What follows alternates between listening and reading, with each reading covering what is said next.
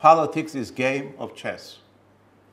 It doesn't matter whether you put yarmulke on the heads of chess pieces, turban, Vishnu, or Confucius, whatever form you take, chess is universal game. And I have no question about treating chess as a politics.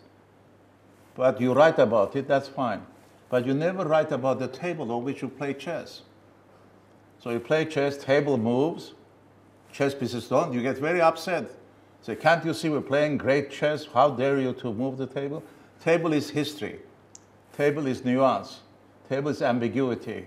Table is cultural differences. You're talking about uh, what some people would say as uh, gaining tolerance for another culture. And, and you came back pretty strongly uh, against that word, tolerant. Well- Share that with us.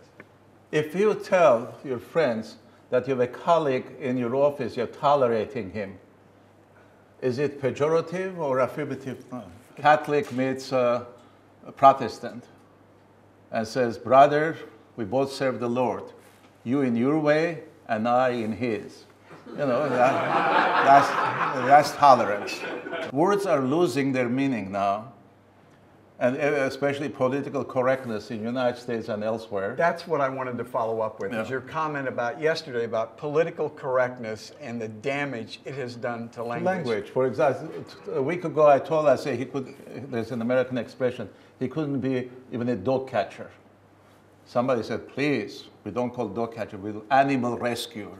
What's the harm in that, though? I mean, what is The harm is language is stripped of its nuance and ambiguity by putting a uh, kind of neutral terms that does not convey anything except that uh, fake respect.